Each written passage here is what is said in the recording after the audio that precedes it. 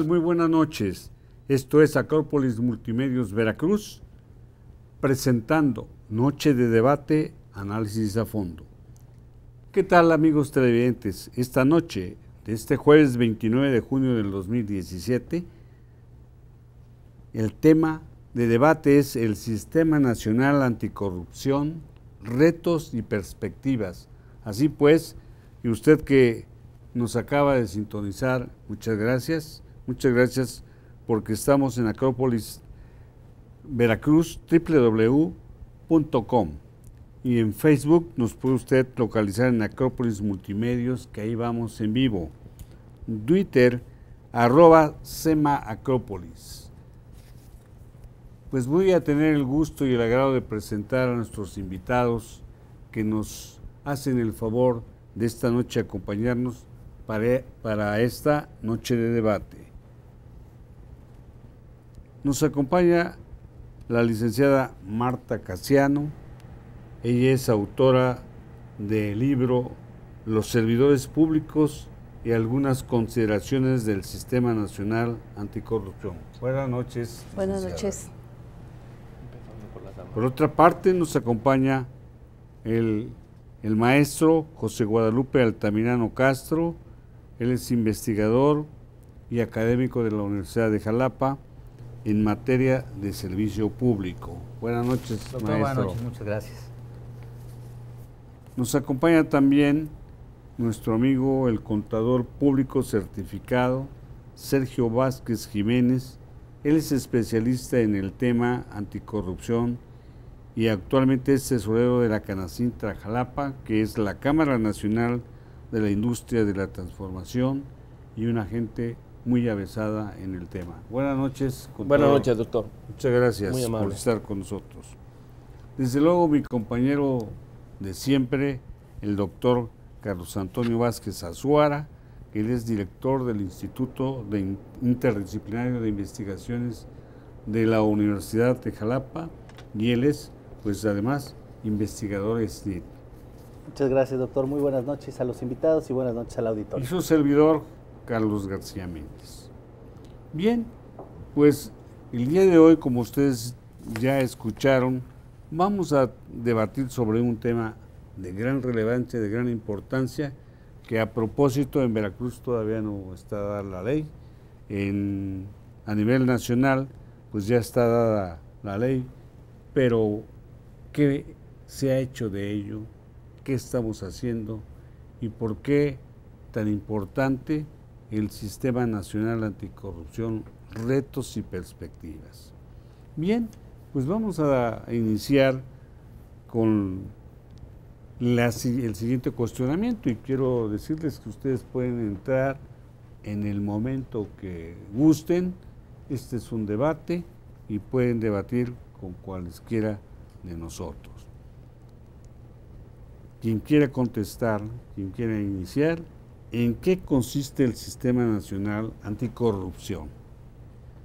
Bueno, yo quiero empezar comentando que el Sistema Nacional Anticorrupción está concebido como su nombre lo, lo indica, es un sistema, es una coordinación de diversas instituciones, así como de actores y de ciudadanos que van a converger en él con la finalidad de combatir la corrupción.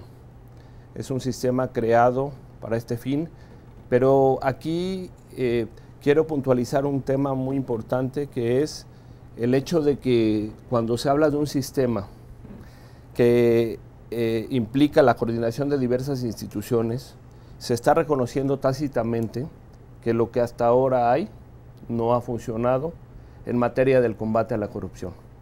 Es por eso que hoy se crea un sistema con esta finalidad y del cual esperamos, bueno, en, en adelante tener eh, los resultados. Hoy, como bien usted lo comentaba, eh, está el proceso, la ley nacional ya está aprobada, digamos el Sistema Nacional Anticorrupción ya está aprobado y entrará en vigor a partir del 18 de julio de este año Muy bien. pero los sistemas locales anticorrupción están en el proceso de ser aprobados, están en el proceso de modificar los estados, de modificar sus, sus legislaciones para poder estar en sintonía y poder echar a andar los, los sistemas locales anticorrupción? Pues eh, creo que se hace necesario crear pues, eh, pues este sistema eh, porque ha dado al traste en, no tan solo en México, en muchos países. Yo estuve allá por Centroamérica, particularmente en Honduras. Fui justamente a platicarles sobre la, la anticorrupción. Y bueno, pues evidentemente que son países que todavía, pues eh, hay que decirlo claro, ¿no? Van atrás de nosotros en muchas materias y en esto, pues ha, habido muchos dictadores, muchos golpes de Estado y pues creo que eso da mucho de qué hablar. Así es, doctor, creo y coincido totalmente con ustedes Estamos en un enfoque coyuntural actual donde el despunte de derechos humanos y la consolidación de la democracia se está eh, prácticamente permeando de manera muy Es considerado como un derecho humano. Así es correcto, es considerado como un derecho humano. Y el cáncer más arraigado que venimos arrastrando en México, que debilita las estructuras administrativas, ha sido precisamente el cáncer de la corrupción. Es un fenómeno multifactorial que incide directamente en el detrimento del aparato de administración pública del país y de los estados. En ese sentido, y como bien decía nuestro invitado, se tuvo que hacer conciencia de este gran problema, del impacto que ha causado y de implementar todo un sistema que tiene la visión de poder eh, combatir un poco este tan arraigado rezago que venimos arrastrando y del cual pagamos consecuencias sumamente profundas. Bien. ¿Cómo ve, eh, maestro, el que estemos tan preocupados. Pero yo creo que deberíamos estar ya ocupados en lo que es el sistema anticorrupción, porque eh, nada más nos preocupamos, pero no actuamos. El, tema, el tema precisamente, doctor, como usted lo dice muy bien, es el tema de la ocupación. ¿no? Aquí partimos de, bajo, del principio de que pues hay algunas eh, situaciones y exigencias internacionales, tanto de orden internacional como de orden interno, que han obligado a los gobiernos, como el caso de México, a entrar nuevas reglas, el tema de derechos humanos, el tema de tener instituciones que garanticen procesos electorales, ¿no? el tema de la transparencia, el tema de la rendición de cuentas, el tema de los resultados, el presupuesto basado en resultados. Y hoy en día un sistema que se pide a gritos, ¿no? pero quizás no se quede nada más, eh, y hace rato platicamos tras de cámaras. El asunto está aquí en que hay críticos que dicen que no es un sistema, que es algo más creado, un elefante blanco más como todos los que tenemos en este país. Pero yo creo que hay que hacer un balance justo para determinar qué tanto aporta realmente este sistema en el que involucremos a instituciones y en el que hoy considero que algo importante que se, que se involucre es, es a la ciudadanía. ¿no? Hay un, documentos internacionales como la Carta Iberoamericana de los Derechos y Obligaciones del Ciudadano, donde precisamente establecen esa obligación de los ciudadanos de dar seguimiento a todas las acciones de gobierno. Yo diría que no se trata nada más de una reforma o de una implementación solamente en el papel y que no exista viabilidad para su implementación. puede estar en el papel, puede estar aprobada por los por quien corresponda en la Cámara, en el Congreso de la Unión o las cámaras de diputados, los congresos de los estados, pero si no se aplica, si no se hace, eh, hemos visto pues en nuestro estado acaba de pasar. Lo que hizo este, el gobernador Duarte pues no, no, no es tan sencillo. Si hubiese habido todo esto, yo creo que desde, entonces, desde antes ya lo hubiesen parado, no esperar seis años. Ya una vez que llenó sus bolsas y las bolsas de muchos, y ya se fue.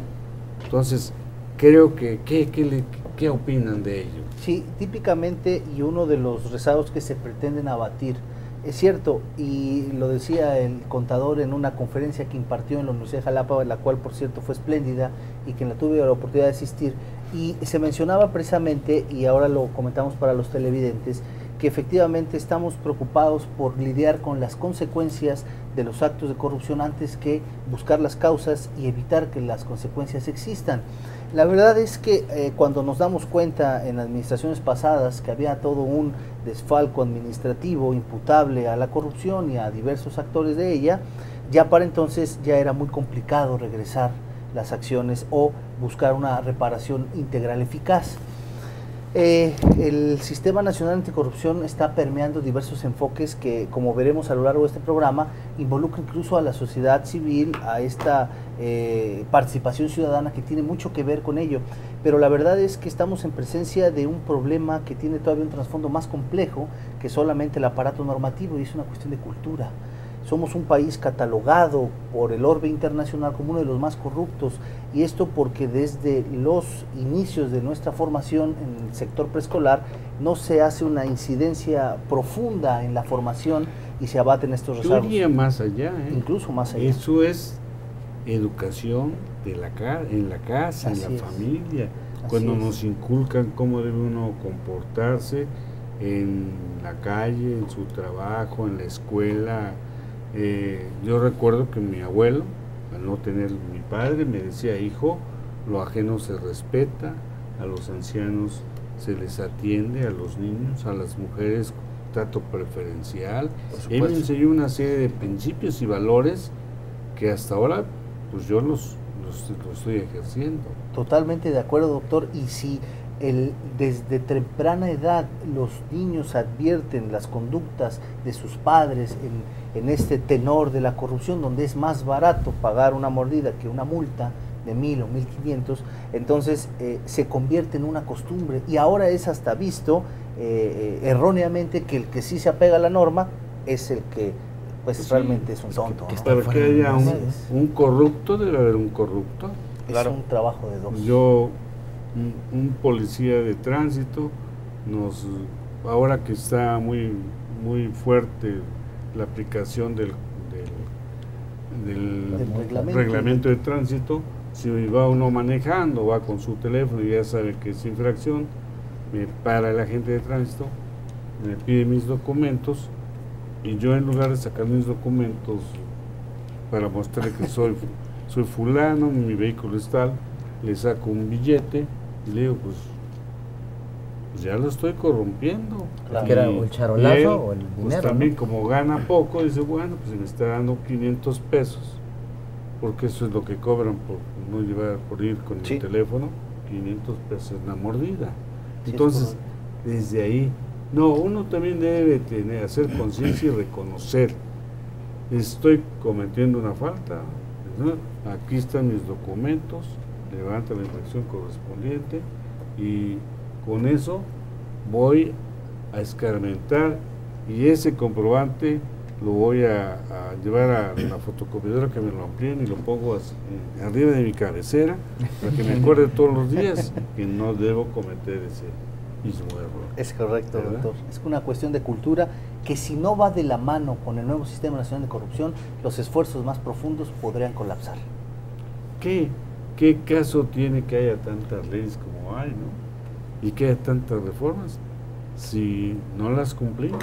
Sí, depende de los operadores que estamos en el, eh, ya sea como ciudadanos, los que están inmersos en el sistema, en la administración pública o incluso en la actividad jurisdiccional que veremos más adelante, pues también formará parte medular de este nuevo sistema. Y el gobierno, las autoridades hacen que le pagan al policía, al inspector, al supervisor, hacen que le pagan, no, no le dan un sueldo suficiente para que lo reflexione, lo piense dos veces, diga, no, yo no voy a recibir mejor recibo mi sueldo y qué prestaciones tengo. Cuando yo acumule tantas multas y en, dinero, tanto, pues tenga un estímulo, porque pues de otra manera yo creo que eh, si no a toda acción corresponde una reacción. No me estimulan allá, pero este me está ofertando ganarme dinero. ¿sí? y ante la necesidad imperante de subsistir, pues prefiero optar por esa opción. Ese, ese es un modus operandi muy común en todos rubros. Yo creo que el principal problema hoy radica en que precisamente se están atacando, bueno, no hoy, sino de manera eh, histórica, se han atacado las, los efectos y no se están atacando las causas, no se están atendiendo las causas. En el caso de la corrupción, eh, como ya bien se dijo, creo que el tema eh, debe empezar desde la educación en casa, ¿no? Se deben de rescatar, debemos de voltear. Yo, escuchaba hace dos días una declaración que dio la eh, presidenta de Alemania que me pareció eh, me llamó mucho la atención porque ella hablaba de regresar nuevamente a los valores, a lo que se aprende en la casa, de, de voltear un poco incluso a Dios, de voltear un poco incluso al tema de lo que dice la Biblia. Me llamó mucho la atención porque ella es una mujer que tiene una formación científica, eh, formada, digo, a base de metodología, de comprobación científica, y, me, y una líder de un país de primer mundo que parecieran en el papel estar alejados de todos los temas teológicos. Y, esa declaración me llamó mucho la atención. Eh, pareciera ser un grito desesperado, eh, digamos, de voltear a ver a nuestros orígenes y de eh, rescatar un poco de lo que, un poco o un mucho de lo que hemos perdido. Me parece que hablar de corrupción es hablar de un monstruo de mil cabezas e insisto, hoy estamos atacando eh, efectos y no estamos atacando causas, ¿no? Sí, pues yo quisiera escuchar sus puntos de vista, desde luego de, nuestra distinguida eh, panelista, que se trata de una persona con una gran preparación, eh, quien se ha ocupado ya de escribir eh, un libro o dos libros al respecto, que es la licenciada Marta Casiano. Pues yo estoy muy emocionada porque los escucho y encuentro mucho eco en lo que yo he venido pensando desde hace años, en el mismo sentido. Y lo que comentaba usted, doctor, de que de qué nos sirve crear tantas leyes si no se aplican. En el primer libro que publiqué en el 2010, Las responsabilidades administrativas en la función gubernamental y práctica procesal, me salió del corazón una frase que dice, de nada sirve hacer leyes si no se observan y no se aplican castigando a los infractores. En el 2010 que publiqué este, este libro, el cual por cierto ponemos aquí a la vista para todos nuestros televidentes.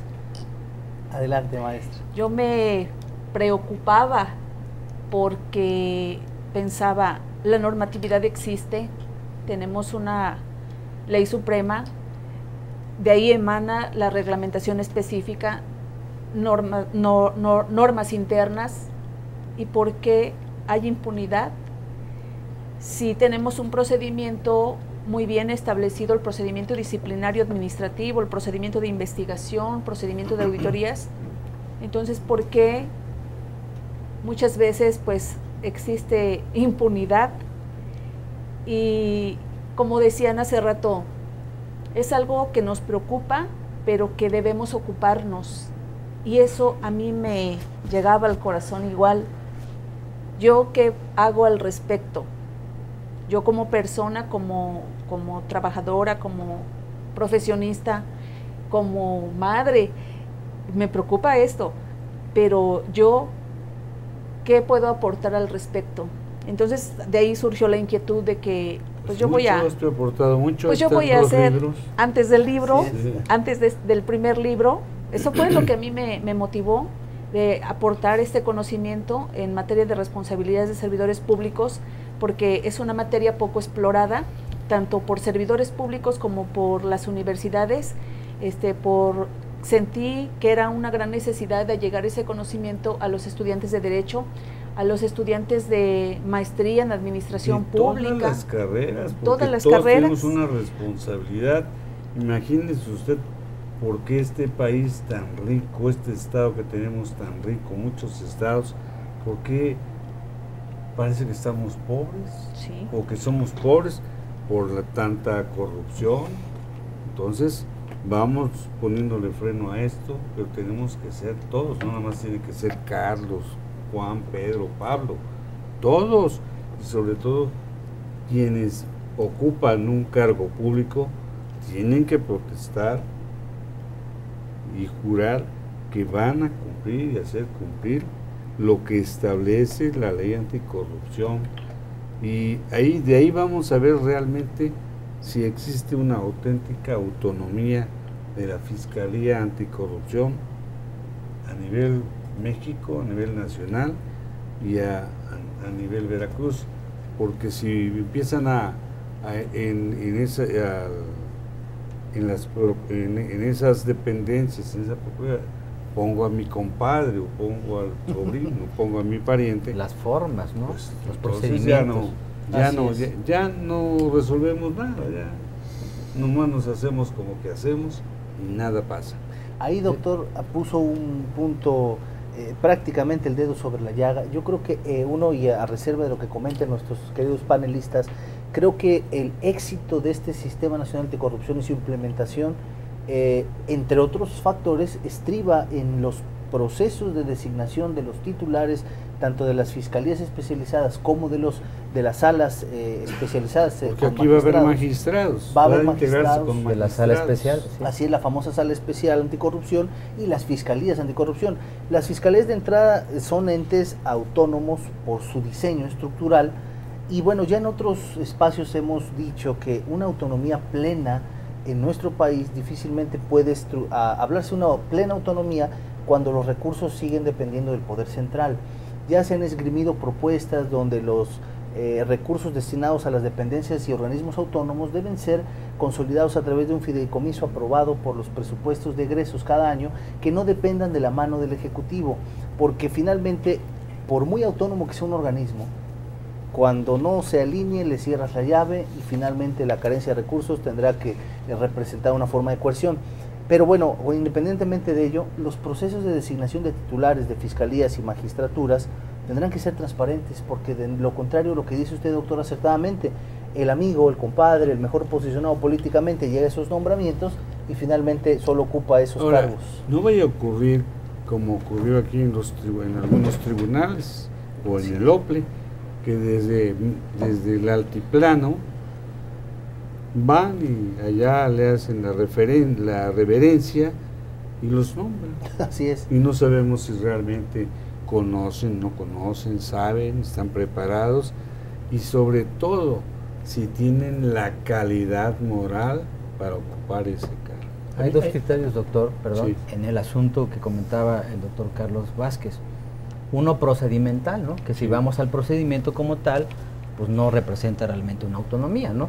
porque la Fiscalía estaría, en el caso de la Nacional, sujeta a la Procuraduría General de la República, que para cierto efecto, desde hace un año, tenía que haber, no, desde hace más tiempo, tenía que haber sido la Fiscalía General de la República. Eso es un tema todavía pendiente que está en discusión. Y en teoría autónoma también. Así es, exacto. Y el otro, el otro entramado es el tema financiero, que al finalmente está dependiendo de los recursos públicos del Estado, ¿no?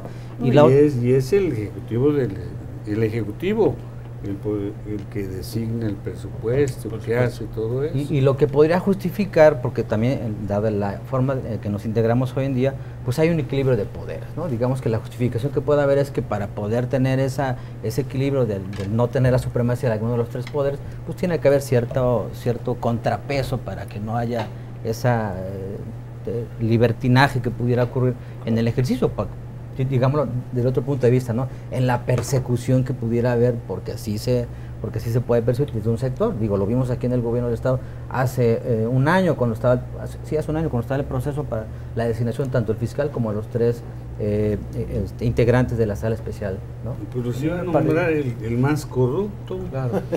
De veras, Duarte los iba a nombrar. Hay que hablar claro. Yo creo que no tener pelos en la ley. O sea, de origen estaba viciado el asunto, ¿no? Afortunadamente eh, se adelantaron a la ley federal y por lo tal se determinó que era inconstitucional esa iniciativa y, se echó abajo. Yo creo que uno de los retos principales del sistema eh, no radica tanto en su implementación, sino en su efectividad. Su cumplimiento. En su cumplimiento, efectivamente. Lo, dijo muy bien eh, la doctora hace unos momentos tenemos el, más grave, uno de los más graves problemas que tenemos en nuestro país se llama impunidad. Y me parece que el reto principal que tiene este sistema es acercarnos al imperio de la ley.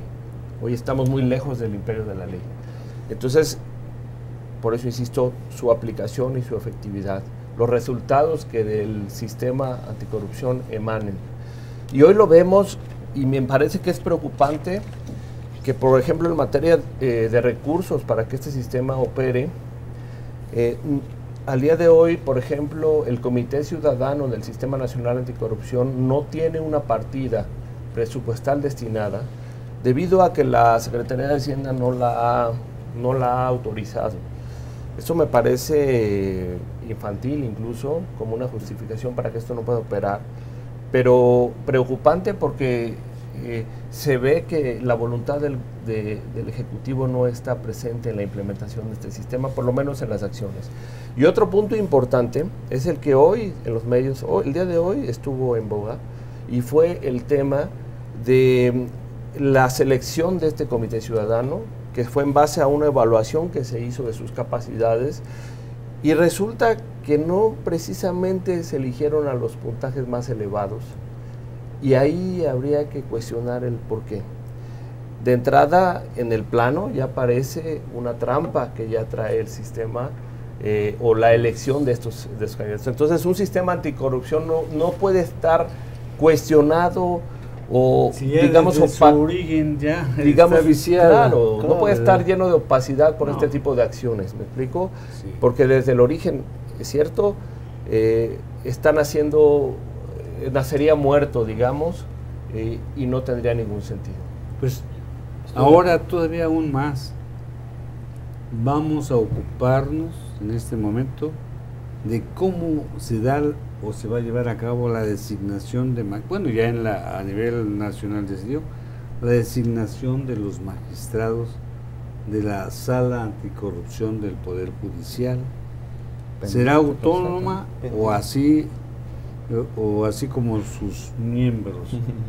Ahí hay un punto extraordinariamente importante porque efectivamente, y lo dijo usted doctor, y lo, lo, sabemos todos los televidentes y los que estamos aquí, hubo un intento notoriamente, notoriamente corrupto, pero además fallido afortunadamente, de designación de magistrados de una sala que como bien dice el contador, antes de, la ley federal pues fue echado abajo afortunadamente.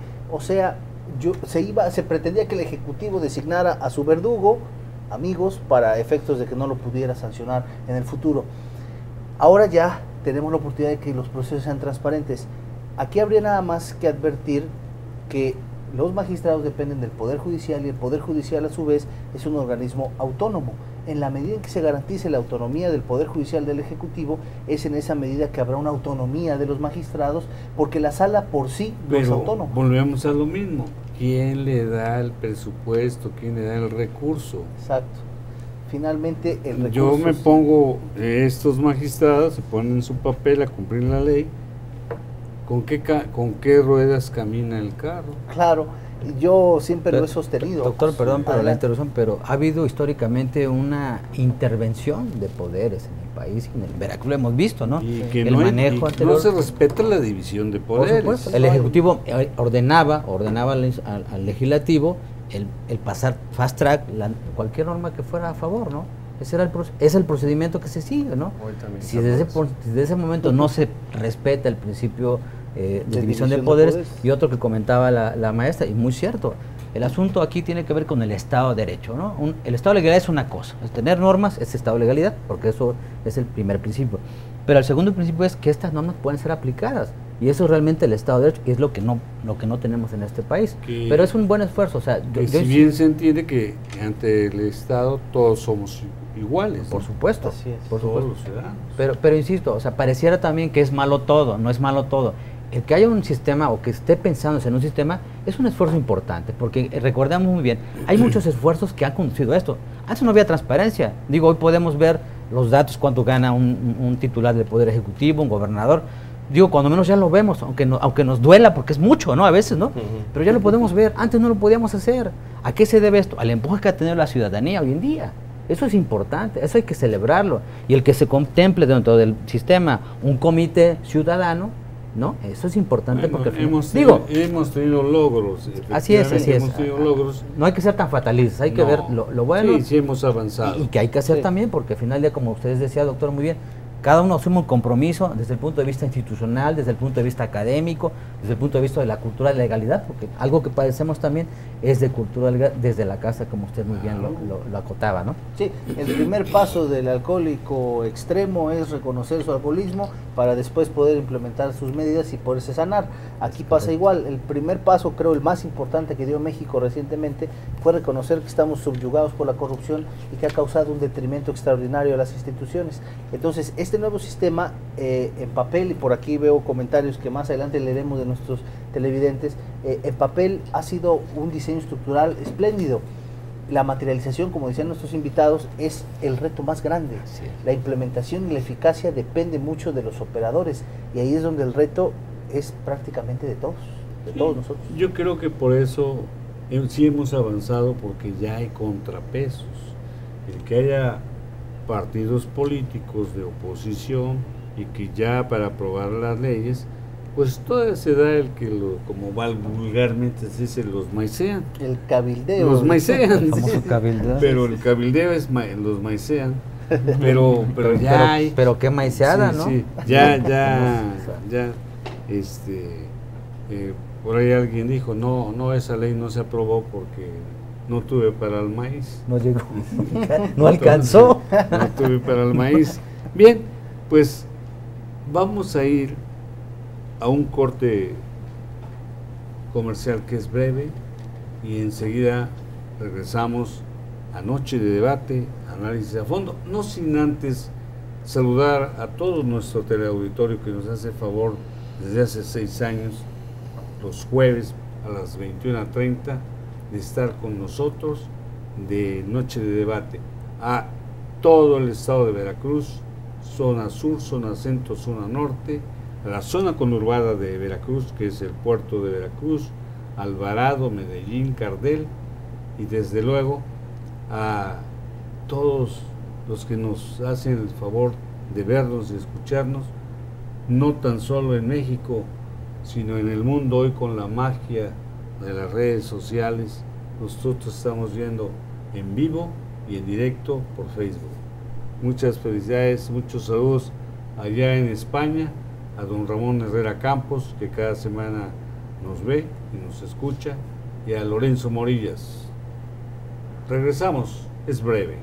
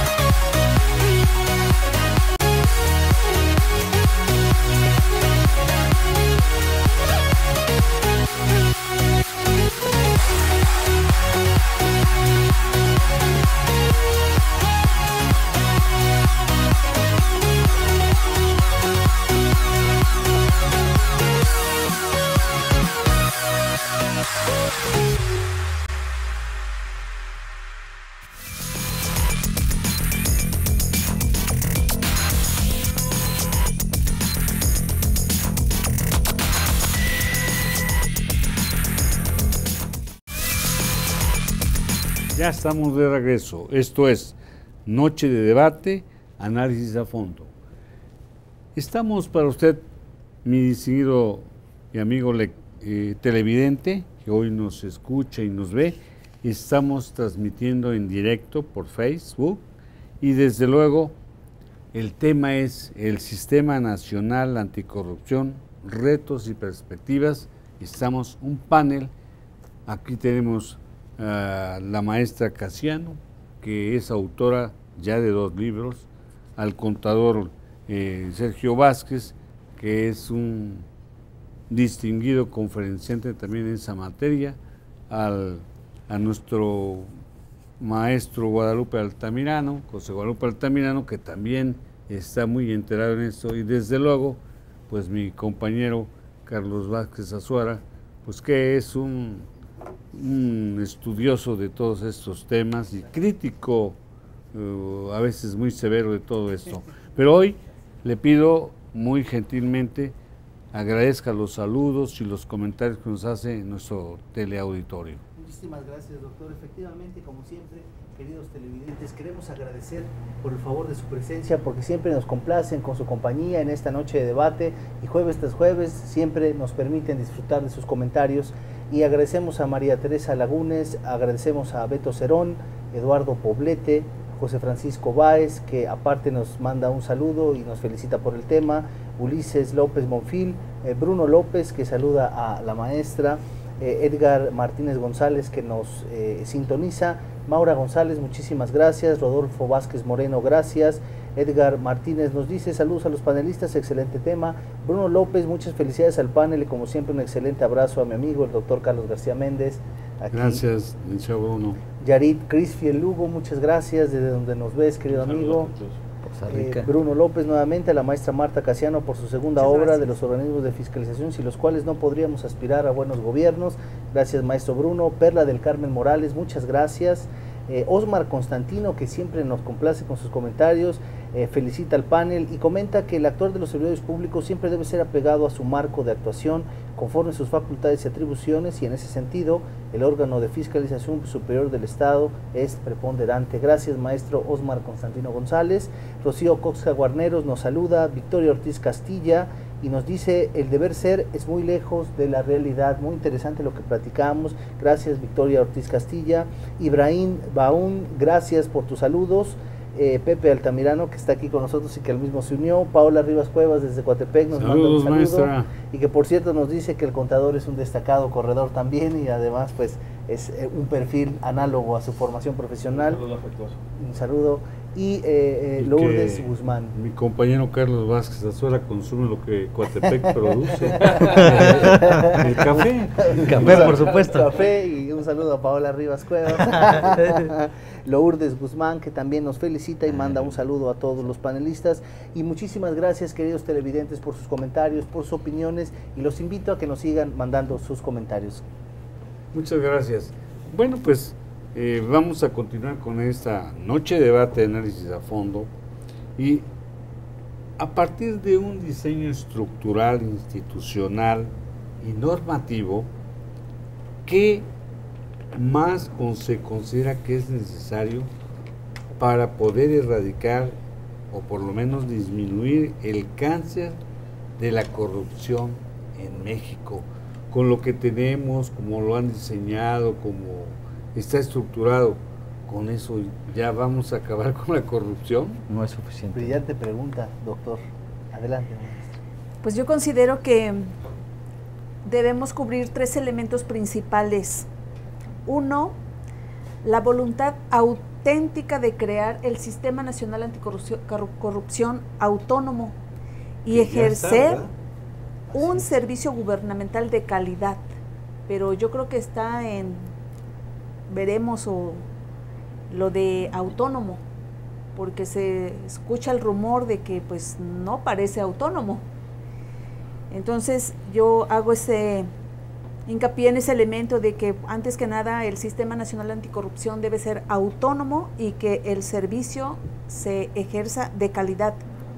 Segundo elemento, que los servidores públicos estén formados con verdaderos valores éticos y morales lo cual significa que deben contar con una vocación de servicio real. Tres, que se tenga el conocimiento normativo, procedimental contra la impunidad de los actos de corrupción, porque yo creo que sin esos tres elementos, cualquier sistema normativo anticorrupción fracasará en cualquier estado, en cualquier país, porque estos para mí son la base que abarcan los principios filosóficos que establece la nueva Ley General de Responsabilidades, que menciona como, son como unos 10 principios, que todo esto pues conlleva a que, a que se tengan, a que las instituciones sean fuertes en, en valores éticos y morales, y sobre todo pues con el servidor público, con esa vocación de servicio real y auténtica. Yo veo dos áreas de oportunidad fundamentales para que esto pueda llevarse a cabo, digamos, básicas. Y una es el rescatar eh, los valores, volver, como ya se dijo en esta mesa, a la educación en valores desde el hogar, desde las instituciones de educación y desde ahí empezar a promover un cambio en esta, en esta materia. Y otro punto fundamental me parece que es el castigo ejemplar a los actos de corrupción. Es decir, ya también se comentó, cero impunidad contra actos de, corrupción. Me parece que en la medida que se castigue no solo a funcionarios públicos, como ya también se dijo, sino también a los particulares que sean parte de estos actos de corrupción. Porque es cierto, como ya también se comentó, que para que un acto de corrupción se consume, eh, se consolide, en cierto rubro, porque, porque hay unos actos que no necesitan la participación de particulares, pero en algunos sí es necesario no solamente la voluntad de un servidor público, sino la coparticipación de un ciudadano. Entonces me parece que en la medida que se castigue no solamente a los servidores públicos, sino a los particulares que participen en estos actos, y se castigue de manera ejemplar, me parece que en esa medida vamos a, poder avanzar en esta materia. Hay países donde no está erradicada la corrupción, pero se tiene focalizada y se tiene controlada. Es un fenómeno controlado que no afecta, digamos, eh, al resto de la sociedad, como hoy está pasando en nuestro país. Y la razón estriba principalmente en que hay países en que si tú te sometes o si tú participas en un esquema de corrupción, puedes perder incluso la vida por un castigo. Me parecen castigos ejemplares, como es, como lo hemos visto en Corea, como lo hemos visto en China, en fin, en los países de, Oriente. Estoy de acuerdo. Y adelante, mi querido amigo. Sí, quisiera un poquito el, tema que usted cuestionaba el doctor García Méndez. Quisiera empatar un poquito eh, mi tema de tesis doctoral. Eh, hay que repensar también en la administración pública, es decir, en las formas y en, los procedimientos para la selección, sobre todo de los gabinetes, ¿no? aun cuando es una facultad, que una facultad discrecional, que es una atribución que le compete al Ejecutivo, sí deben considerarse algunos criterios para seleccionar, porque desde ahí también estamos eh, poniendo a la gente que puede ser posible eh, candidato a, cometer actos de corrupción.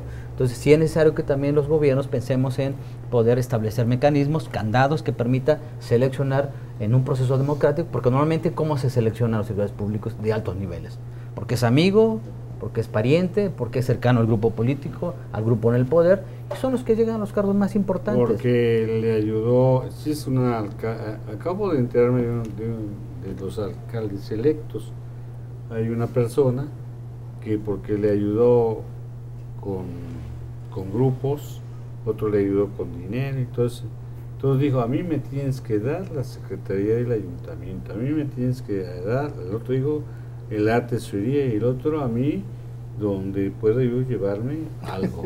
Entonces... y recuperar lo invertido. Esos son los... Ese, esa, fíjese qué... Qué, delicado. Qué delicado, qué principios, qué moral. Sí, yo quiero abonar, la verdad doctor, es que es muy cierto. Eh, la verdad, queridos televidentes, que estos, eh, las aportaciones que hacen nuestros invitados para fortalecer el Sistema Nacional Anticorrupción son indispensables y yo quiero centrarme en dos también para aportar algo igual que ustedes. El primero, no podríamos hablar de un Sistema Nacional Anticorrupción eficaz si no, si se sigue eh, fortaleciendo esta figura que tenemos del fuero constitucional.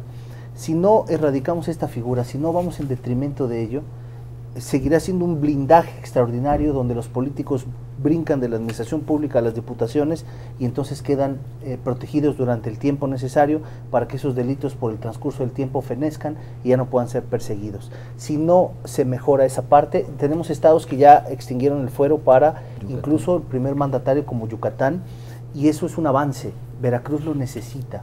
Y aparte de extinguir la figura del fuero, también necesitamos incrementar, como decía el contador, las penas en el Código Penal eh, eh, tenemos el caso muy reciente del de, exgobernador de Veracruz, Javier Duarte, que está siendo imputado, responsablemente imputado, por delitos que no, en realidad no son los que causaron el mayor deterioro de la administración pública en nuestro país. ¿Por qué? No es porque la fiscalía se le olvidara o porque buscara mejor imputarle delitos más recientes, sino porque el diseño estructural de la penalidad de los delitos por servidores públicos no tiene la profundidad necesaria, fenecen. Cuando las auditorías detectan las observaciones y estas no se solventan en determinados años, esto queda a valores entendidos subsanado y se extingue la acción. Entonces, si no modificamos los delitos cometidos por servidores públicos, el delito de cohecho efectivamente en el Código Penal solo involucra al funcionario público, ¿eh? O sea, el ciudadano que propicia la corrupción o que está inmerso en ello no tiene responsabilidad. Pero eh, el funcionario público, los delitos cometidos por servidores públicos no tienen ni la penalidad ni la profundidad necesaria. Si no se modifica el Código Penal y no se extingue el fuero, bueno, entonces, ¿para qué la reforma al nuevo con el nuevo sistema penal acusatorio, adversarial? Si esto facilita a que los delincuentes por ahí, hoy había una noticia por la mañana en televisión, en un noticiario, en que una persona ha entrado 1200 veces y sale, otro 400 veces y sale. ¿Por qué? Por la inconsistencia del código de procedimientos penales, que lo que le llaman ellos, que bueno, pues... Presunción de inocencia. Presunción de inocencia. pero en, solamente en cuatro estados, dicen, de la República, se aplican eh, lo que le han aplicado a Bermúdez y a todos esos. Sí, ahí falla, es cierto, incluso lo dijo el contador en su conferencia aquí en la Universidad de Jalapa. Eh, se ha tenido la visión de que el sistema penal acusatorio está fallando y la verdad es que lo que está fallando en realidad es la capacitación de los actores y la justicia ah, restaurativa. Pero también dijeron por qué está fallando, porque en la mayoría de los estados los gobernadores y los tesoreros y todos esos se quedaron con el dinero, lo metieron a la famosa licuadora y no dieron capacitación. Claro que ahora pues este ni el fiscal ni el juez, los tres, los actores, el fiscal, el defensor y el juez no saben cómo manejar la situación. Sí, doctor, esa es una realidad. Eh, muchos de los que nos capacitamos en el nuevo sistema de justicia penal tuvimos que hacerlo con recursos propios.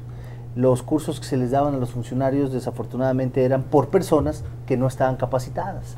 Entonces, eh, estamos empezando un sistema penal acusatorio eh, que está debilitado por la falta de capacitación y mientras no se acuñe eh, precisamente una formación al frente de este nuevo sistema, seguiremos advirtiendo impunidad, porque no es, un, no es un problema de diseño del sistema, es un problema de operación, y el problema de operación es tan profundo que en realidad está generando efectos pues, que no se esperaban en el nuevo sistema. Pero también tiene implicaciones de, de, orden, decir, decir, revisar algunos apartados, algunos, alguna, algunos artículos de la propia reforma penal porque hemos visto hoy en día incluso hay una por ahí una contrarreforma que viene por parte de los gobernadores en los que obviamente hay una forma de justificación y sí es cierto, sí tiene que ver el tema de la capacitación, pero también es necesario regular algunos eh, asuntos como el tema de la, este, de las medidas cautelares que hoy es un tema hoy hoy es un tema muy Solamente en cuatro estados se aplican las, medidas, y, y hay una confusión doctor en el tema de las medidas porque pareciera que tiene que ver con esto con la peligrosidad de eh, erróneamente de, esa interpretación no es la, el, fondo real. La medida cautelar es en tanto no se defina si es responsable de la comisión de tal eh, o cual conducta delictiva, ¿no? No es una sanción anticipada, efectivamente, es, una medida precautoria, así es. Y, para ello hay un tema nuevo, que es el tema de evaluación de los riesgos procesales, para poder determinar qué medida cautelar le corresponde en, su momento, ¿no? Pero realmente sí tiene que ver mucho. Es, es correcto. El, eh, el, fiscal, el, el, este, y luego que, que va al juez de control, la desconoce y, él pues lo va turnando al que sigue, al de juicio. Y tuvimos ocho años, porque la reforma viene desde hace, hace nueve años ya, ¿no? Porque no los capacitamos, los gobernantes no hicieron caso, tuvimos ocho años y el dinero salió, salió, salió de la CETEC. Así es. Y no llegó a cumplir con su que, que, que, hoy ya no existe. Efectivamente, si no se si no se capacita a los integrantes de perseguir y sancionar los delitos, si no se erradica el fuero, si no se hace un cambio de cultura y si no se permiten procesos transparentes de designación, el sistema está destinado a colapsar. Si se atienden a estas cuestiones, hay posibilidades de éxito. Y la otra, hay gente que se prestó para firmar un recibo o una factura en que él dio capacitación y resulta que él no está capacitado. Y, luego, van y no se van a hacer una imputación, ¿no? un ciego guiando a otro ciego. sí. No, bueno, ahí es donde resulta, eh, donde hay eh, mucho trabajo que hacer, precisamente dentro de las instituciones que se van a coordinar en este sistema, porque los grandes escándalos de corrupción que hoy tenemos no solamente implican un defecto en las leyes, sino en, incluso en los en, el esquema de rendición de cuentas.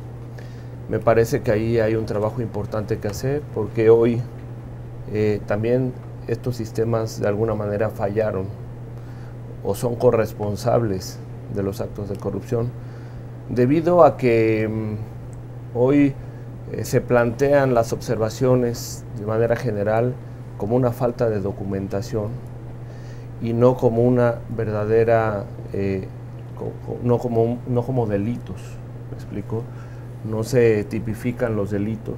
Me parece que ha faltado un poco de, de, dirección hacia este esquema de rendición de cuentas y hoy se está observando falta de documentación eh, principalmente, lo cual si yo te observo que te falta una factura para comprobar un gasto, pues simplemente con mostrarla está solventada tu observación. Em, lo digo de manera muy básica, pero me parece que hoy hay que hacer un trabajo muy especial en esa materia, ya que el Sistema Nacional de Fiscalización, que es parte de este sistema anticorrupción, eh, tendrá que hacer lo propio hacia el interior para tratar de cambiar, digamos, el enfoque de la fiscalización y de la rendición de cuentas para hacer eh, eh, porque ellos, digamos, eh, aportan la, la, base para poder iniciar un proceso de, de responsabilidades hacia desvío de recursos o hacia mala aplicación, manejo indebido de los mismos. Entonces, para ello, ¿qué modificaciones jurídicas pudieran hacerse, hacer falta aparte de las ya previstas de las que hemos comentado, para afianzar, para asegurar mejor el sistema nacional anticorrupción y que no falle? ¿Qué haría falta? Me, parece que se deben de establecer montos mayores para las sanciones administrativas o montos mayores para las sanciones, o sea, lo decía yo hace rato, eh, castigos ejemplares. Y por otro lado, una revisión eh, a conciencia de la tipificación eh, de las infracciones para evitar, este, digamos, lagunas, eh, para evitar interpretaciones. Eh, me parece que el trabajo fundamental va, estriba en ese sentido, en que la ley sea clara para que su aplicación no tenga ningún, ningún sesgo ni de ni, ni, de pie a ninguna interpretación, Por ejemplo, sino al pie de la letra.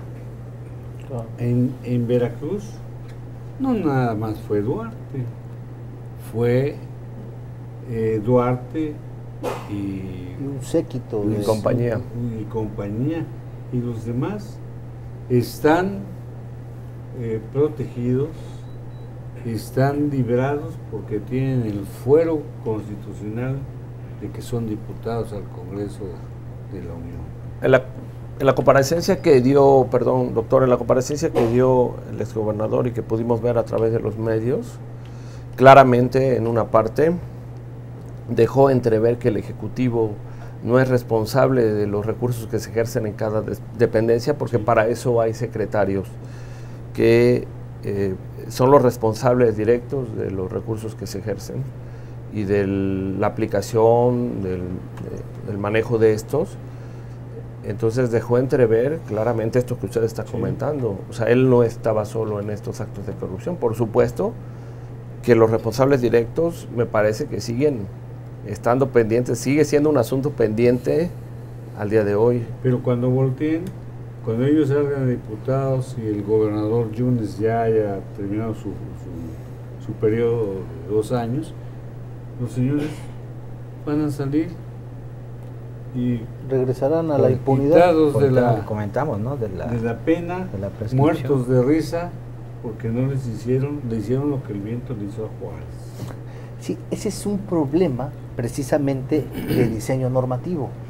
Eh, la ¿Qué más nos hace falta es correcto. para afianzar mejor el sistema nacional anticorrupción? Indudablemente. Adelante. Sí, pues yo lo que considero que más que modificaciones jurídicas, o sea, la clave está en concientizar y aplicar los elementos que mencioné hace un momento, aunado con los que comentó el doctor, porque efectivamente yo en mi libro comento, este, y en los altos funcionarios qué? O sea, va a funcionar un sistema, pero cuando también se incluyan ellos, cuando también se, porque los niveles de corrupción más altos se dan en los altos niveles. Entonces también hablaba sobre un cambio de cultura, igual yo lo comento. Pero el sistema, el sistema, es para todos, no es para los más chicos o los más grandes. Es, es un sistema yo como que, no me doy cuenta y tú de abajo ya nada más me pasas. Porque a veces las artimañas se arman más abajo que arriba, ¿no? Sí. Es donde está la, la parte más oscura, ¿no? Claro. Pero además debo confesar que eh, gran parte de la impunidad que se ha generado es por la imposibilidad de recuperar los montos que se han este, desviado o se han generado por enriquecimiento ilícito. Eso es, la práctica más común que hemos advertido a lo largo de, hecho de es que Todos los veracruzanos sabemos quiénes, cómo, cuándo y qué cantidades. Más también no nos importa. Esa es cuestión del gobernador y el problema, o del fiscal. Y no, es de todos. Es de todos y el problema es que ya se quiere empezar a actuar cuando ya pasaron los ejercicios fiscales. Ya va bueno, a prescribir. Cuando ya va a prescribir o cuando se cierran las eh, los, los, ejercicios fiscales y esto ya queda solventado tácitamente. Hoy no no te opusiste, pues sencillamente pasa el tiempo. Cuando hace cuántos años estuvo un gobernador, un, un secretario de finanzas o tesorero y uno otro funcionario, alto funcionario. Nada más estuvieron de visita en el hotel de Pacho y, nada, pues señor, no, hay delito ya que perseguir, ya prescribió. De hecho, es uno de los cambios sensibles que hay en ese sistema nacional anticorrupción, precisamente la prescripción de las responsabilidades. Al día de, antes de la entrada en vigor era de tres años, en este sistema ya es de siete años, lo cual va a permitir precisamente el que no se vaya y diga, yo no hice nada, con permisito, la ley me permite tres años, ahí me voy. ¿no? Eh, me parece que ese es un punto muy importante que, está contemplado. Eh, hay que ver, insisto, al día de hoy eh, cómo va a funcionar, pero es un, es un punto fundamental porque los procesos de fiscalización contaban con un principio que se refería a la posterioridad, que también ya se eliminó, y hoy pueden hacerse más eficientes las fiscalizaciones a las cuentas públicas, es decir, casi en tiempo real, digámoslo así. Y por otro lado, se amplía el proceso, el periodo de prescripción y con esto eh, me parece que ya las herramientas están puestas sobre la mesa para proceder eh, sin excusa ni pretexto. ¿no? Así es, las auditorías, eh, la Contraloría y los órganos fiscalizadores deben tener la capacidad de la verdad es que las alertas en el sexenio anterior estuvieron prendidas desde siempre. Pero vamos, desde el inicio. Vamos A, puntualizar, a analizar. en el Poder Ejecutivo, un presidente municipal, el presidente... ¿Quién nombra al Contralor? Claro. De su dependencia. Ahí hay un gran problema porque el Contralor, ¿sí? el Contralor sigue siendo una designación directa del Ejecutivo, y típicamente asociada al amiguismo, al compromiso político o simple y sencillamente por la afinidad que existe con la persona. si no haces lo que yo digo, te corro. Claro, claro. ¿Qué pasa? Eh, la Contraloría debería ser, debería ser como la Fiscalía, un organismo designado efectivamente por una terna aprobada por, la, por el Congreso o bien revestido de cierta autonomía. Pero al ser dependiente del Poder Central... que es, distinto, que es distinto si él tiene un auditor, ¿verdad? Que lo, que lo, que lo contrató el ejecutivo, el presidente municipal o el funcionario, bueno, pues me tendrá que rendir cuentas nada más a mí y no a la sociedad. Claro. Pero la, la, Contraloría sí. Pero gozamos de existencia de organismos como ellos que han tenido su, permanencia y la verdad es que no ha habido resultados, ¿sabes? ¿no? Digo, es una cuestión... Pero vamos más, eh, más allá. ¿Qué papel juega la participación, eh, la participación ciudadana? Fundamental. Un ciudadano, cómo participa y qué importancia tiene. Y además, la acción social en este combate a la corrupción. A mí me parece que este es el ingrediente más importante de este Sistema Nacional Anticorrupción. Yo diría que es el eje que va a permitir que este funcione o no funcione. La participación de, de la ciudadanía me parece que es fundamental. Vemos con muy buenos ojos que se contemple pero como ya se mencionó, de la participación de todos, no solamente de los notables que estén ocupando ese asiento dentro del Comité Ciudadano, sino de todos los ciudadanos, de la participación decidida, del, del interesarnos de los asuntos públicos, de ello va a depender que este sistema funcione. Me parece que es el ingrediente fundamental, desde mi óptica, que le va a dar eh, eh, validez, pero también que va a permitir que funcione o que este sistema eh, sea solamente otra buena intención o ponerse un traje bonito para lucir ante la opinión internacional de nuestro país. Definitivamente al día de hoy vemos no solamente en los temas de corrupción, sino en diversos temas que nos, que nos demandan participación de la ciudadanía, vemos un gran desinterés que es lamentable de parte de la ciudadanía. Y ahí tenemos una corresponsabilidad, los ciudadanos, y tenemos un trabajo eh, muy importante que desempeñar.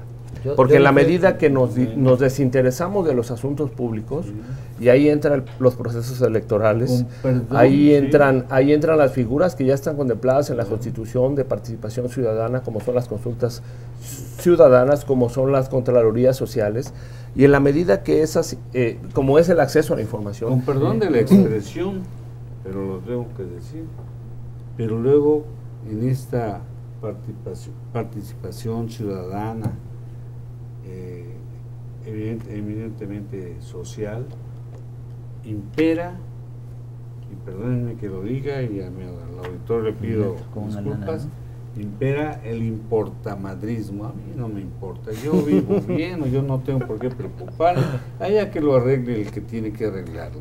pero, pero no, no todos, no, no, no, todos, y vuelvo a lo mismo, ¿no? Eh, muchos de los del éxito de muchas de las reformas que ha habido en este país han sido debido al empuje de la ciudadanía, ¿no? Recordemos cuando el, tema de la discriminación se debió al empuje de las organizaciones de sociedad civil para poder regular un tema que al final del día fue a gritos. Porque si, le preguntáramos al sistema si estaría de acuerdo, al sistema político me refiero, en hacer la reforma, no lo haría. O sea, la transparencia, la rendición de cuentas, el tema del presupuesto basado en resultados, hoy el tema de anticorrupción, es gracias al empuje de la ciudadanía que ha pensado que hoy en día debemos quitarle esa facultad y atribución que le confía la Constitución, pero que además también nos da el derecho a nosotros como ciudadanos de exigir y pedir una cancha de participación. Y hoy en día creo que, como lo decía muy bien el contador, es fundamental el papel que tendrá la ciudadanía en el tema de la, el sistema, del funcionamiento y la operación del sistema anticorrupción. yo estoy totalmente de acuerdo con, con ustedes que la participación ciudadana es fundamental, pero además agregaría que en la práctica se requiere de una voluntad, de una buena, buena dosis de voluntad política de los gobernantes, sin dejar de lado la tolerancia, la apertura a la crítica y sobre todo la evidencia de resultados que se traduzcan en correcciones de prácticas deshonestas, que acepten la crítica de la ciudadanía y, atiendan a las exigencias en la medida de lo, en lo que lo permita la ley, ¿no? Me parece que la buena voluntad, perdón, me parece que la voluntad del gobierno es como aquello de la buena voluntad. Y en este caso la buena voluntad prácticamente no existe, si no es por la, la, la coacción de la ciudadanía la exigencia de la ciudadanía. Y ahí tenemos ejemplos claros como son la Casa Blanca del presidente, como son los desvíos de Veracruz, como son tantos escándalos, eh, y podemos hacer una lista y un libro seguramente de todos los escándalos de corrupción que ha habido en nuestro país, en los cuales precisamente lo que, lo que está ausente es la voluntad del gobierno en cambiar esto. Entonces yo, yo creo que eh, insisto, el ingrediente principal viene de la ciudadanía, del empuje que la ciudadanía le dé a este sistema. Y exentarnos de esa desidia que a veces pudiera imperar como ciudadanos. Lo vemos a veces en ejemplos tan pequeños. Pasamos por una calle y se está regando el agua porque se rompió una tubería, a ver quién lo reporta. Ah, o simple y sencillamente que lo haga otro. Yo voy a perder toda la mañana, yo tengo trabajo. Cuando sabemos que yo vivo en esta calle yo no vivo en esta calle. No me afecta. Hay que vamos a ir a un corte y regresamos es breve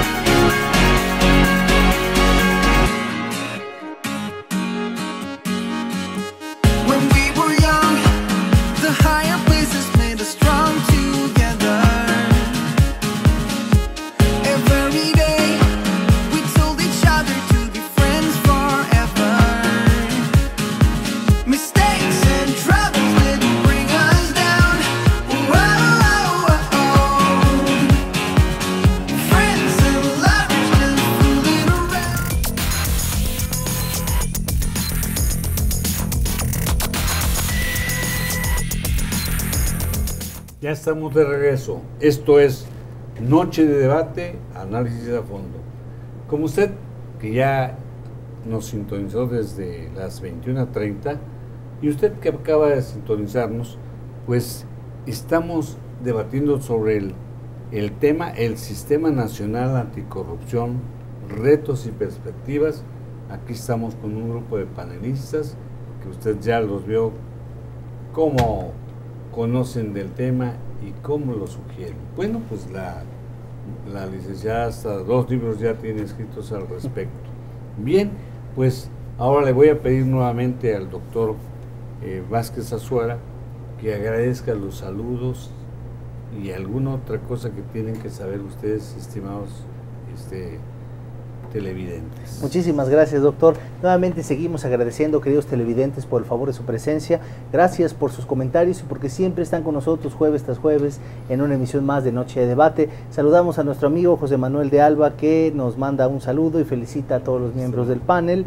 Eh, saludamos a Emanuel Cepeda Sánchez, al maestro Gustavo Mora Méndez que nos saluda, María Concepción Andrade López, muchas gracias por tus saludos y tus comentarios, Leo Arellano, muy bien por los panelistas y nos envía un saludo, Liz Castropola nos comenta una eh, reeducación de ciudadanos y gobernantes, estamos totalmente de acuerdo, muchas gracias, Eric Infanzón Álvarez que también nos saluda y nos da sus comentarios y queremos comentarles queridos televidentes que en la Universidad de Jalapa nos encontramos de plácemes porque hemos tenido a bien siempre ser una institución educativa que se encuentra a la vanguardia precisamente de las exigencias que en formación profesional hoy se requiere. Y queremos compartirles a todo el auditorio que de manera extraordinaria la Universidad de Jalapa ha obtenido nuevos reconocimientos de validez oficial de estudios aprobados por la Secretaría de Educación Pública de nuestro país que autoriza a nuestra máxima casa de estudios particular ofertar los siguientes nuevos programas de estudios. Me refiero a la carrera de gestión organizacional y de capital humano en modalidad escolarizada y mixta, la carrera de arquitectura que tiene también un impacto importantísimo en nuestro estado en modalidad escolarizada, la carrera de ingeniería industrial modalidad escolarizada y también un eh, rubro extraordinariamente importante, la carrera de Contaduría y Finanzas, también en modalidad escolarizada.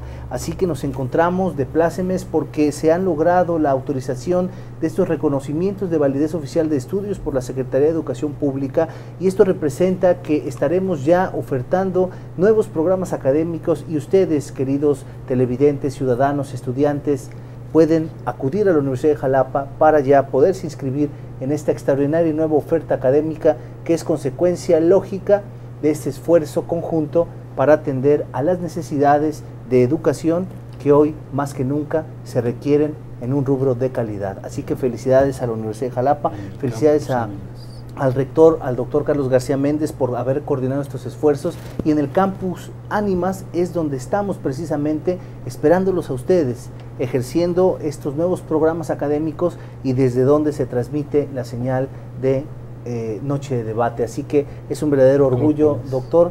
Y bueno, pues Acrópolis Multimedia sigue creciendo. También queremos invitarlos a que eh, puedan integrarse en nuestro portal mantenerse bien informado. Tenemos radio, tenemos televisión por internet tenemos el portal y dos noticiarios que día con día lo mantienen a usted bien informado sobre el acontecer cotidiano en el país, en Veracruz y en nuestro municipio. Así que si quiere mantenerse bien informado, de disfrutar de la barra programática de, la, de televisión de Acrópolis, de la radio de Acrópolis, lo invitamos a que en este consorcio de medios de comunicación digital pueda visitarnos y disfrutar de toda esta extraordinaria proyección. Así que enhorabuena, felicidades y felicidades doctor por este extraordinario logro que ha tenido nuestra casa de estudios. Todos.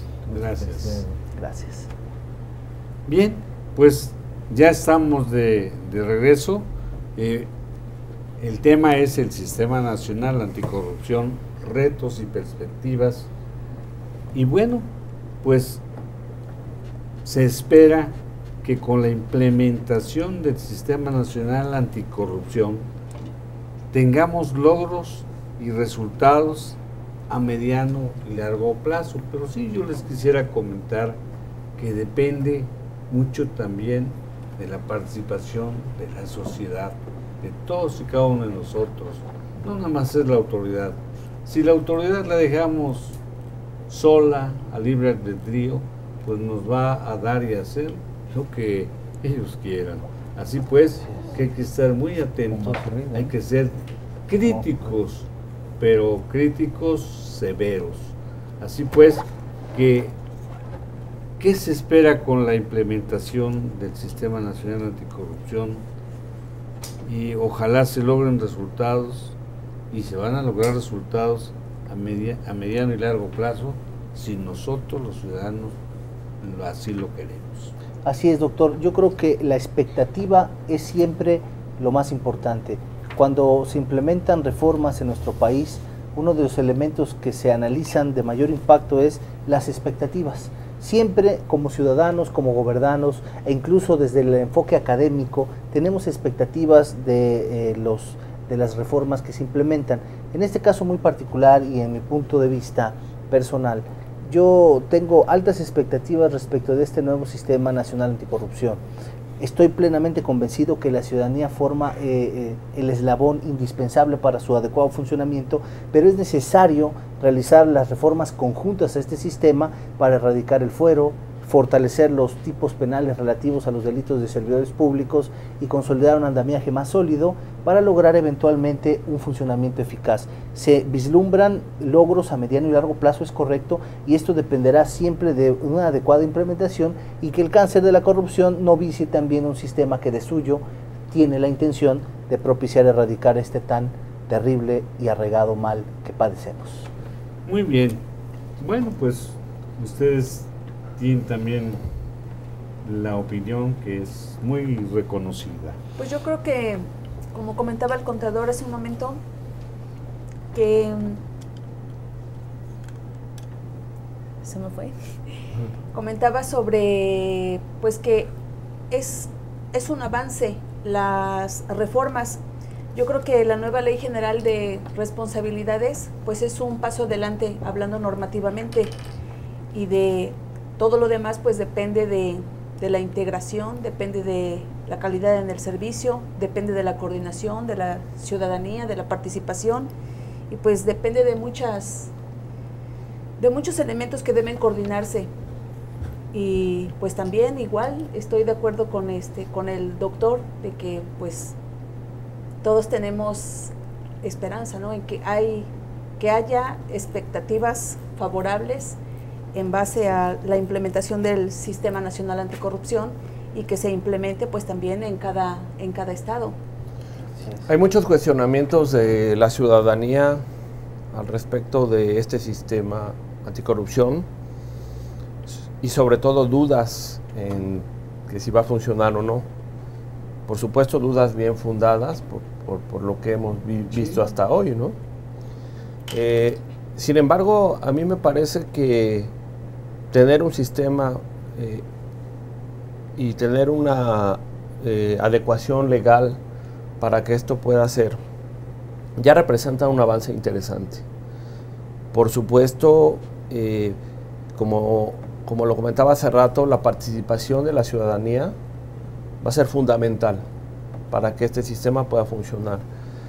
Entonces, ¿qué esperamos de este sistema? Yo esperaría sí resultados, esperaría una corresponsabilidad ciudadana y porque hasta hoy hemos visto que hemos ido avanzando, como bien lo dijeron, eh, en otros rubros los cambios que se han dado en las normatividades y en las legislaciones, eh, en diversos problemas que aquejan a la ciudadanía, han venido las propuestas de la presión ciudadana. Este es uno de ellos.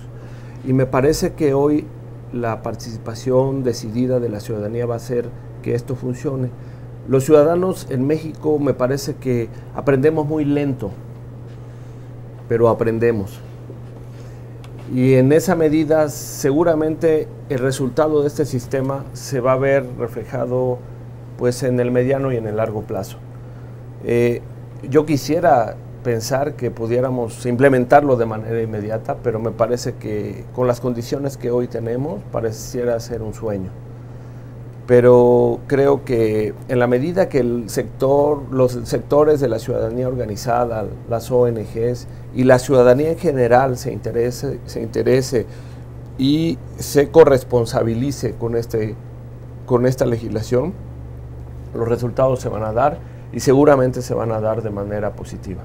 Tengamos fe y vamos a pensar que las gentes que conforman pues eh, la fiscalía, los magistrados, son gente eh, de buena fe, son gente bien nacidas y que quieren el progreso y la prosperidad pues de su estado, en este caso de Veracruz y del país. Así es. Es lo que es la expectativa que tenemos. Eh, que comentar desde dos puntos de vista. Como abogado yo puedo decir que además del sistema como tal, es necesaria la armonización de diferentes cuerpos normativos, en materia penal, en materia administrativa, en materia fiscal, ¿no? en materia de responsabilidad de servidores públicos, en fin, son, es necesario, porque si no, realmente estaríamos caminando sobre, sobre, sobre piso no, no firme, ¿no?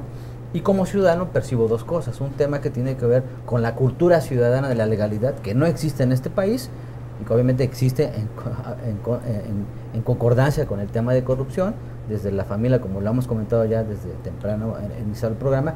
Y por la otra parte, el cambio de paradigma de la percepción del servicio público. Ese es fundamental. Es, debemos entender cuál es el sentido original y real de la función pública. Ese es un tema que sigue pendiente, que seguimos platicando, llevando en trabajos, pero que no ha aterrizado en determinar los procedimientos, la forma, los accesos, los procesos democráticos para incorporación del servicio público y sobre todo, además de, de, algo que está pendiente, la evaluación y el seguimiento del desempeño del servicio público, que es algo que también está aparejado con el tema de rendición de cuentas y con el tema necesariamente con el tema de la corrupción. Los contadores dicen que todo lo que no se, se evalúa no se puede ¿Es correcto? Es correcto. Y también hay otro adagio que reza, los los ciudadanos tenemos el gobierno que nos merecemos. En ese sentido, si somos responsables y adoptamos el papel que eh, finalmente es clave para el funcionamiento de este sistema, tendremos un gobierno decoroso.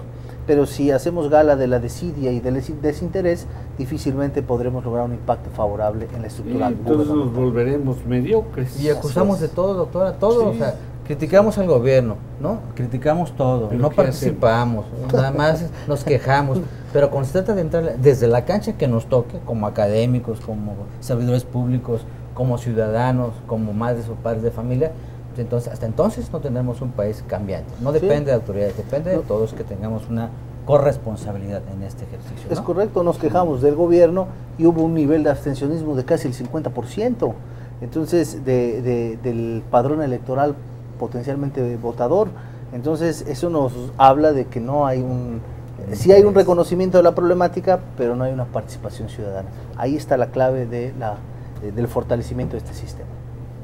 Bien, bueno, pues ustedes saben que el tiempo en televisión se va muy rápido. Ya casi hemos llegado al final de esta emisión de Noche de Debate donde analizamos el Sistema Nacional Anticorrupción, retos y perspectivas, pues vamos a pasar ahora a la sección de las conclusiones. Si ustedes me permiten, empiezo por las damas. Por supuesto. Por la licenciada Marta Casiano. ¿Con qué cierra usted esta noche de debate? Bueno, pues yo me quedo muy sorprendida con el panel porque tal parece que leyeron mi libro, el de... Muy bien. El nuevo. Hicimos la tarea. Este, pareciera que lo leyeron porque abordaron varios temas que ahí también los comento y pues una parte también del contador y pues eso me tiene emocionada y por eso yo sonrío constantemente porque digo, qué bárbaros, o sea, saben del tema está la perfección porque... Y si no inventamos. ¿eh? bueno, yo, yo me di a la tarea de investigar, ahí está el producto, pero pues tuve que leerle, tuve que trabajarle y hoy me siento bien, pues bien emocionada, muy contenta porque estamos en la misma frecuencia y pues compartimos ideales y pues gran parte de lo que se comentó aquí viene en el, en el libro de servidores públicos y mis consideraciones sobre el Sistema Nacional Anticorrupción. Es el pan de cada día. Que lo compren, ¿no? Sí. Muchas gracias. Eh, 10 pesos. contador Cinco. Sergio Vázquez, Claro. ¿Con qué concluye usted esta noche de debate? Gracias, doctor. Yo solamente diría que no solamente para que este sistema anticorrupción funcione, sino para, yo diría más allá que para que nuestro, nuestro país funcione. Necesitamos todos los ciudadanos dejar de ser críticos de café, críticos de redes sociales y nos debemos de poner a trabajar desde donde nos toca debemos de ser, debemos de asumir la corresponsabilidad que tenemos con nuestro país y hacer el papel que nos corresponde todos, sin excepción, para que este país pueda cambiar. Insisto, no solamente en materia de anticorrupción, sino en materia de seguridad, en materia, en materia de economía, en materia de empleo, en, todo, en todos los ámbitos que nos aquejan hoy graves problemas a todos los ciudadanos, debemos de incidir, debemos de levantar la mano y debemos de participar. Sí. Ya no debemos de quedarnos callados. Creo que la principal, eh, es el principal reto que hoy enfrentamos. Incluso incluiría yo la cuestión ecológica, que es muy importante, es la que nos está llegando Claro. ya muy de cerca, el cambio climático, Claro. estos, estas lluvias torrenciales. Por supuesto. Entonces solamente me quedo en, en que pasemos de ser una sociedad pasiva a ser una sociedad activa. Muy bien. Muchas gracias, contador. Mi estimado eh, maestro José Guadalupe Altamirano, ¿con qué cierra usted esta noche de debate? Muchas gracias, doctor. Yo creo que con el compromiso que hemos eh, establecido y que hemos analizado aquí, ¿no? El compromiso eh, del personal, el profesional, el, el- el compromiso de- desde la academia a aportar, porque al final del día, pues cuando se hace investigación, eh, la, la- la pretensión es que tenga una utilidad práctica, ¿no? Como hablamos del sistema, el asunto radica en la materialización de este sistema, ¿no? Y en, en el cual pues todos tenemos una participación importante, los gobiernos, las instituciones. Necesitamos darle credibilidad a las instituciones, que es uno de los temas endebles que hoy en día hay una desconfianza total de los ciudadanos sobre el ejercicio en el servicio público. Y creo que eh, quienes estamos en el servicio público debemos dar muestra de cuál es la verdadera responsabilidad en, ese ejercicio de, absoluta responsabilidad pero también, obviamente, como lo hemos comentado también, el asunto de la participación ciudadana es sustancial y es fundamental para el éxito de cualquier medida gubernamental. Pues muchas gracias, maestro José Guadalupe Altamirano. Mi estimado doctor Carlos Antonio Vázquez Tesora, ¿usted cómo va a cerrar esta noche de debate? Muchas gracias, doctor. Pues primero que nada, felicitando a nuestros distinguidos panelistas y haciendo una recomendación, queridos televidentes. Ustedes se han dado cuenta que una de nuestras invitadas es la maestra Marta Casiano, que es autora de este último de sus libros que se denomina los servidores públicos y algunas consideraciones sobre el Sistema Nacional Anticorrupción. Es un libro eh, altamente recomendable por su contenido, de la poca bibliografía que en la materia existe y que seguramente en próximos días estaremos teniendo el gusto de presentar en nuestra casa de estudios, la Universidad de Jalapa. Así que lo recomendamos ampliamente a todo el auditorio y agradecemos también a la maestra Muchas por gracias. la consideración. Y brevemente yo quiero cerrar eh, esta noche de debate en mi punto muy particular de vista expresando un llamado respetuoso a toda la ciudadanía. Me sumo a lo manifestado. Tenemos una ineludible responsabilidad como ciudadanos de preservar el orden de la administración pública. Somos los que pagamos las consecuencias de la mala administración, pero también somos quienes podemos a través de nuestras acciones lograr consolidar un mejor andamiaje de administración pública. Somos responsables y eh, debemos asumir ese rol como ciudadanos y poder en la medida de lo posible coadyuvar para el fortalecimiento de este nuevo andamiaje anticorrupción en México y en Veracruz. Muchas gracias, doctor. No habrá a más que Ah, sí. agradecerles. Y es correcto, todavía seguimos saludando, nos saludan Eric Infanzón, Saúl Donaldo, Nora Luz Vázquez Azuara, Osmar Constantino nuevamente nos manda una felicitación y bueno, pues siempre nos complacen con el favor de su presencia. Gracias a todos quienes nos han mandado sus comentarios, sus opiniones, quienes nos están viendo en transmisión en vivo, porque al final la mejor opinión la tienen ustedes. Así que muchas gracias y gracias al panel, doctor. Muchas gracias, doctor. Muchas gracias. Bueno, pues su servidor, pues eh, yo quiero exhortar a todos los ciudadanos o nuestros conciudadanos a que participen en, no tan solo para que aliviemos el problema de la, de la corrupción, no, en todo, en todo lo que nos corresponde como ciudadanos, porque hay muchos asuntos que nos competen y nos queremos hacer de lado. Cuando nosotros participemos es cuando vamos a lograr los objetivos. Ya lo que está en ley ya, ya va, va, a quedar ahí para que nosotros lo, lo, podamos exigir. Pero si no lo hacemos, pues las cosas van a ir y nada más es una ley más, como muchas, que ahí están archivadas, que ahí las guardamos, está en nuestro librero, está en nuestra oficina, pero nada más. No, yo exhortar también y, y sugerir que pues para ello es necesario eh, integrar un consejo ciudadano en donde participen hombres, mujeres y jóvenes y desde luego un representante del Poder Ejecutivo, del Legislativo y del Judicial para que haya contrapesos. Y entonces esto va a hacer, esto y ellos van a hacer que se cumplan. Ni lex, it's lex. La ley es dura, más es la ley. Pues muchas gracias. Muchísimas gracias. Licenciada. Doctor. Doctor, muchas gracias. Muy Buenas amable. Muchas gracias, doctor. Maestro, buenas noches. Muchas doctor, gracias, mi querido doctor. siempre, un placer. Es un placer.